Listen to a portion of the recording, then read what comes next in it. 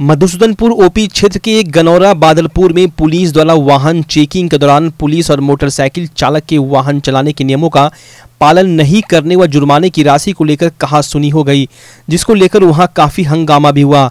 इस दौरान वाहन चालक ने मधुसूदनपुर पुलिस पर बेवजह पिटाई करने का आरोप भी लगाया है। इस बाबत वाहन चालक के पिता पंकज कुमार ने बताया कि उसका पुत्र बिना हेलमेट के बाइक से आ रहा था। तभी मौके पर वाहन जाँच कर रही मधुसूदनपुर ओपी पुलिस ने उसे बिना हेलमेट वाहन चलाने को लेकर रोककर जुर्माना देने की बात कही। फिर उक्त युवक ने जुर्माना भी दिया, लेकिन पुलिस द्वारा उसके पुत्र की जबरन पिटाई कर दी गई। लेकिन उसने पुलिस द्वारा जबरन मारपीट करने पर उसका विरोध करना शुरू कर दिया।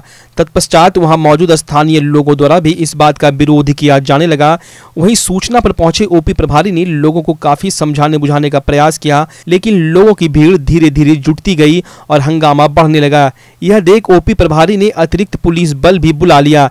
इसके बाद आसपास खड़े कई निर्दोष लोगों को भी पुलिस ने बेरहमी से पीटना शुरू कर दिया। वहीं सारे मामले का वीडियो बना रहे एक युवक के साथ भी पुलिस कर्मियों ने दुर्व्यवहार किया। और उसके बाद आगे का साथ उतर करके डंडा देने लगा। कौन दिया? पुलिस दिया कौन थाना का पुलिस था हाँ? कौन थाना का पुलिस? मसूदनपुर थाना का। बेवजह मारा आपको? हाँ बेवजह हम लोग यहाँ पर खड़ा थे दुकान के पास।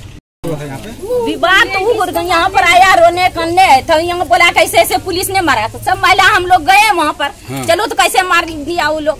अकेले में काहे ऐसे हाँ, करता है? कैसे काहे ऐसे करता है? लेडी लड़की पर हाथ काहे उठाया? फाइन नहीं है हेलमेट तो फाइन लेगा।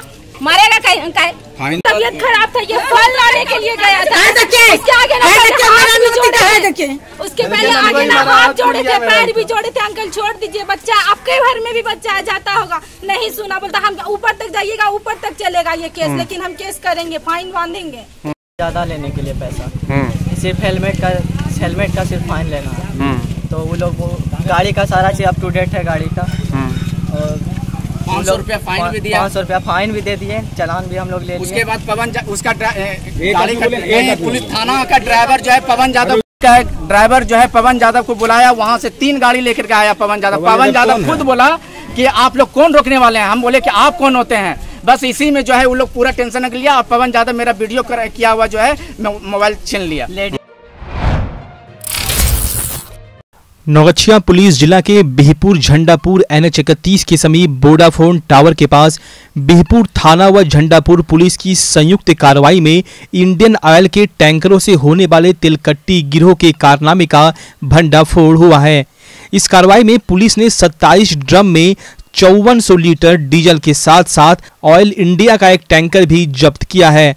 बताया जा रहा है कि उक्त टैंकर बरौनी रिफाइनरी से मुंगेर के लिए चला था। पुलिस द्वारा किए गए इस बड़ी कार्रवाई में मिली सफलता की जानकारी सोमवार को बेहपुर थाने में आयोजित प्रेस वार्ता में एसपी सुशांत कुमार सरोज ने दी। एसपी ने बताया कि इस कार्रवाई में टैंकर का चालक बेगूसराय के कारी चक्का धर्मेंद्र चौधरी समेत टैंकर से तेल निकाल रहे नारायणपुर, मथुरापुर का खंतर यादव एवं खगड़िया के गोगरी का रहने वाला मोहम्मद इमरान को गिरफ़्तार किया गया है, जबकि मोहम्मद सोहेल मौके से भागने में सफल रहा। एसपी ने बताया कि सोहेल तिलकट्टी करने के इस खेल का पुराना सातिर है। दो वर्ष पूर्व इस मामले में वो जेल भी जा चुका है। वहीं गिरफ़्तार आरोपियों से पूछताछ में कई और नाम सामने आए हैं। रविवार की रात मिली सटीक सूचना पर इस कार्रवाई को सफलतापूर्वक अंजाम दिया गया। बिहपुर थानाध्यक्ष राजकुमार सिंह के बयान पर प्राथमिकी दर्ज की गई, जिसमें कुल पाँच को नामजद आरोपित किया गया है। एसपी ने इस कार्रवाई को बड़ी उपलब्धि बताते हुए बिहपुर थाना अध्यक्ष राजकुमार सिंह व झंडापुर ओपी प्रभारी भूपेंद्र कुमार के द्वारा किए गए कार्य को सराहा। एसपी ने कहा कि तिलकट्टी गिरोह पर उनकी काफ़ी पहले से नज़र बनी हुई थी। पहले सूचना मिली हुई यूँ कहें कि आप लोगों के द्वारा भी वीडियो वायरल किया गया था ये बिहपुर झंडापुर एन एच पे तेल कट्टी का काम होता है। और नवछा थाने में भी कहीं पे एक बार फुटेज आया था। लगातार लगे हुए थे। टीमों गठन भी किया गया था। और ये जो है, आज से लगभग दस पंद्रह दिन पहले हमें इंफॉर्मेशन दिया गया था। फलाने जगह पे तेल कट्टी होता है और वो जो अपराधी है, ये पूरे इलाका में आप कह लें कि आप कुर्सेला से लेकर के बेगूसराय तक जो पेट्रोल पंप है सिर्फ़ टच में रहता है, बात करता है और सस्ते में तेल भी बेचता है। ये जानकारी मिली थी। तो थाना प्रभारी बिहपुर की जानकारी दी गई थी। फिर इनके द्वारा कल बताया गया कि जो सब सर्टिफिकेशन आ गया क्रिमिनल भी तेल काटने का काम शुरू कर दिया उसके बाद थाना प्रभारी बीरपुर और झंडा टीम गठन किया गया। छापेमारी की गई और तेल कटिंग करते हुए दो अपराधी पकड़े गए। इसमें ड्राइवर की सहभागिता होती है। ड्राइवर भी उससे मिल करके तेल को बेचता है। तो ड्राइवर की गिरफ्तारी हुई। है इसके अलावा और दो तीन ड्राइवर का नाम क्या है सर? ड्राइवर का नाम ये आपका है धर्मेंद्र चौधरी। प्रेशर दीपक चौधरी शाकिन कारी चक थाना मुफसिल जिला बेगूसराय कितना भागलपुर के सनहौला प्रखंड के बड़ी नाकी पंचायत में स्थानीय जनप्रतिनिधियों की मदद से विकास योजनाओं में धांधली का आरोप ग्रामीण लगा रहे हैं। बड़ी नाकी पंचायत के चखमजा के ग्रामीणों ने स्थानीय मुखिया, अमीरन खातून के पति और मुखिया प्रतिनिधि मोहम्मद मुस्तकीम और वार्ड पार्षद मोहम्मद शरीफ के द्वारा प्रधानमंत्री आवास योजना के द्वारा बनाए गए गरीबों के आसियाने बनाने के लिए प्रति परिवार पंद्रह हज़ार रुपये लेने की बात बता रहे हैं। कई लाभुकों ने बताया कि सरकार के द्वारा मकान बनाने के लिए प्रथम किस्त चालीस हज़ार रूपए दिया जाता है। प्रथम किस्त के दौरान ही मुखिया के प्रतिनिधि और दलालों के द्वारा पंद्रह हज़ार रूपए प्रति परिवार घूस की राशि ले ली जाती है। मुखिया जी दबंग है, जिस कारण ग्रामीणों की भाप तक नहीं निकल पाती। पंचायत चुनाव नज़दीक है, इसलिए इन दिनों लोग मुखर होकर विरोध कर रहे हैं। हमारा कुर्सी कस के भरी मरत गए पैसा नहीं मिला, तीस हज़ार मिला है हम लोगों को। पाँच हज़ार वार्ड ने खाया है। और अब तीस हज़ार मिला है पाँच हज़ार उसी को पच्चीस हज़ार हमको मिला है। क्या चीज़ के लिए मिला था? हाँ? क्या चीज़ के लिए पैसा मिला था? किस लिए पैसा दिए? वो ले लिया हाथ से आपने क्या चीज़ के लिए मिला था पैसा? घर बना एक किस्त मिला है। घर बनाने के लिए? हाँ घर बनाने के लिए। पहला एक किस्त आया है और दूसरा किस्त नहीं आया नहीं दूसरा नहीं आया कितना दिन हो गया? अब तीन साल हो गया। तीन साल से नहीं मिला नहीं मिला है। मुखिया जी से मिले थे? हाँ। मुखिया जी से मिले थे? हाँ सबसे मिलती है। बोला हाँ कहता है कि आएगा आएगा नहीं मिलता है। तो नहीं जे पैसा नहीं मिला सर। और दू किस्त मिला पैसा पंद्रह हज़ार ले लिया नहीं पैसा। आया जया मो घर पर तो मिला पैसा एक महीना मिला लेकिन नहीं मिला पैसा। दो किस्त में कौन कितना पैसा ले लिया आपसे? ये इंदिरा आबाद वाला। कौन लिया पैसा? वार्ड है शरीफ ना। पंद्रह हज़ार रुपया हाँ पंद्रह हज़ार पैसा लिया। क्या बोला? काहे लिया? कि हमरा दे पैसा मैं खटलियो घुरलियो दे। अस्सी दस बटा आदमी केना करेगा सर देखा पानी में छै भरले छै मोटी बहुत परेशानी हो रहलै परेशानी करी करी हम करी रहल छै। इंदिरा आवास की बोले लोन नहीं दै छलै तऽ दे कहलकै कि दे देबो। देलकन? केस होलै। केकरा केस होले? मुखिया कौन चीज़ के लेकर वापस आए बारी में हाँ।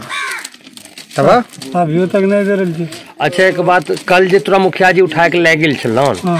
की बोललक हन? बोललकै कि कहीं झूठ बोल जो कि नहीं को काम मने पैसा नहीं ले छै ई कहे। हाँ।